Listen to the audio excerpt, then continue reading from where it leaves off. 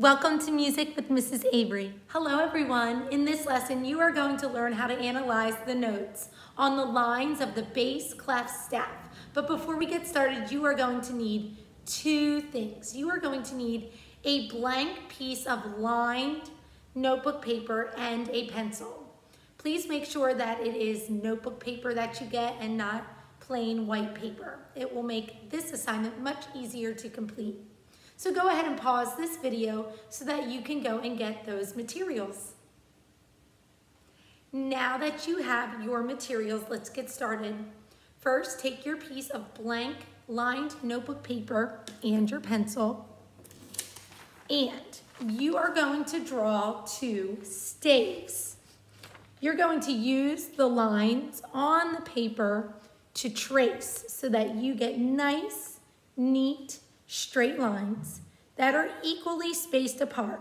Remember that a staff has five lines and four spaces, so make sure that you are counting very carefully and only tracing five lines.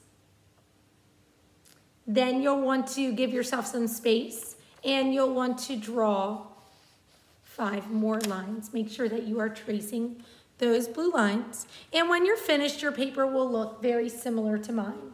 Please take your time on this. Please make sure to use pencil so that if you do make any mistakes, you can erase them easily.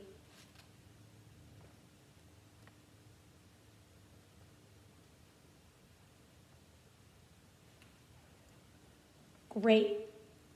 So if you need a little bit more time, go ahead and pause this video so that you can finish drawing your staves. Otherwise, we're gonna get started.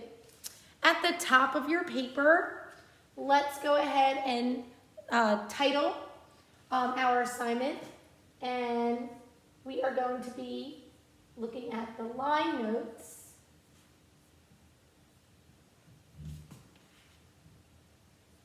on, oops, on the bass clef staff. Bass is spelled B-A-S-S, not B-A-S-E, okay?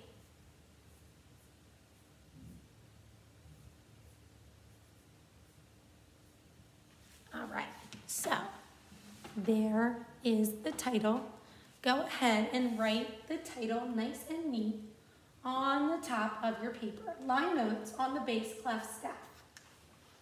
And like I mentioned earlier, we are going to learn how to analyze these notes on the staff. Excellent. If at any time I'm moving too fast for you, please feel free to pause the video so that you can catch up. All right, so if we're gonna analyze the notes on the lines of the bass clef staff, we first have to have a bass clef, and you learned how to draw a bass clef in your last lesson, so let's review. We are going to start on line four, so we count from the bottom to the top. One, two, three, four. We are going to draw a dot, then we're going to go to the left of the dot. Remember, we're going to draw sort of half of a heart, but we're going to start it on the left side of that dot. It's going to touch line five and come down just past line two. Then we have to add our two dots. And remember, it's very, very um, important that we add those two dots in the third space and the fourth space so that they surround this fourth line because that fourth line is very important. Do you remember what we can also call a bass clef? It's the F clef. Good job. And these two dots show where the F line is. And that's going to come up again in our lesson a little bit later. So we have five lines on the staff. So we're going to learn how to analyze those five lines with a bass clef. So let's start by drawing in our notes. So we're going to start on line one. We'll draw whole notes today. So nice and neatly with me in pencil. We're going to draw a note on line one. Let's give it a nice space and then draw one on line two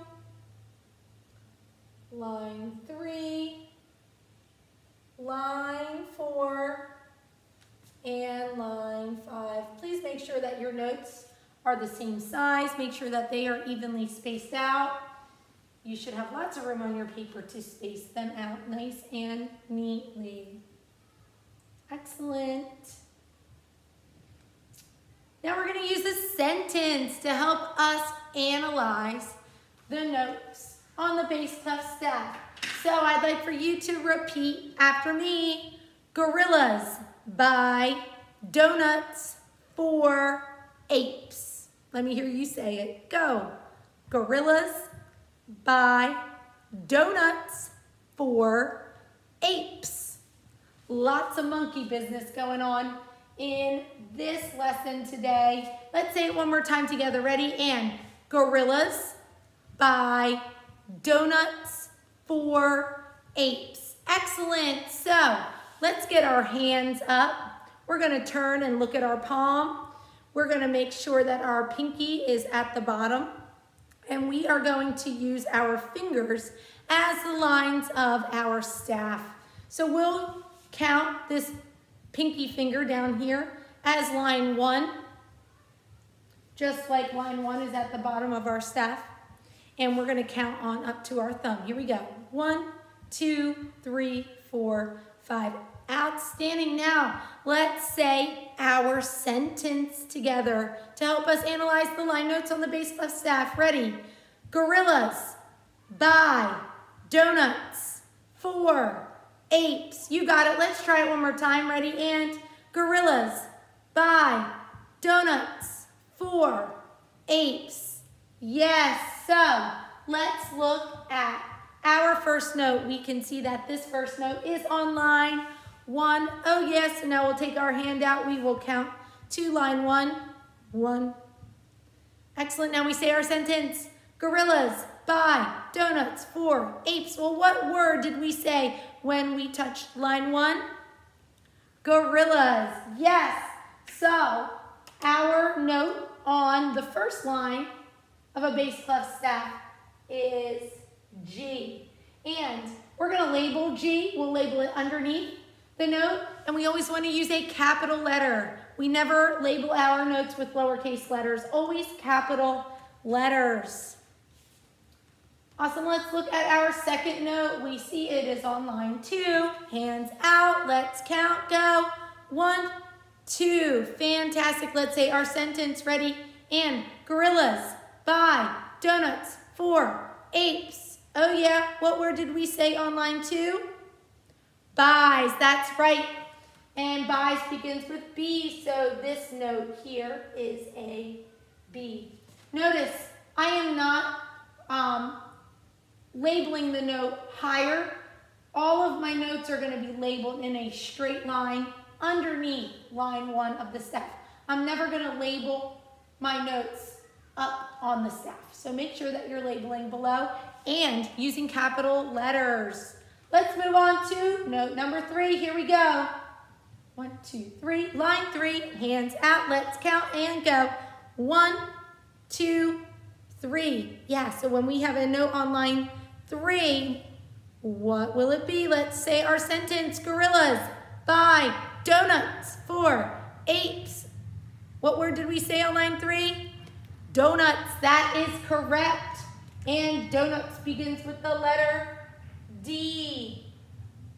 You are getting it. So, so far we have G, B, D, gorillas, buy, donuts. Now let's look at this fourth note. One, two, three, four. Here we go. Let's count. Hands out. Ready. And one, two, three, four. Fantastic. And now let's say our sentence. Gorillas buy donuts for apes. What letter did we say? Four. And we it is an F. We said the word for and it's the letter F. Sorry, I got a little bit confused there. And we have one more left on line five. Gorillas buy donuts for, let's do it with our hand this time. Gorillas buy donuts for apes. That's right. And so this note is an A. So take a moment, double check and make sure that you have a note drawn neatly on each line of the bass clef staff. And go ahead and make sure that you have labeled in capital letters nice and neatly so that each letter is underneath the note.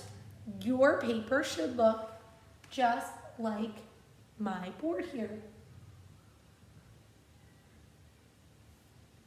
Excellent. So let's review that one more time. Hands out. Let's count.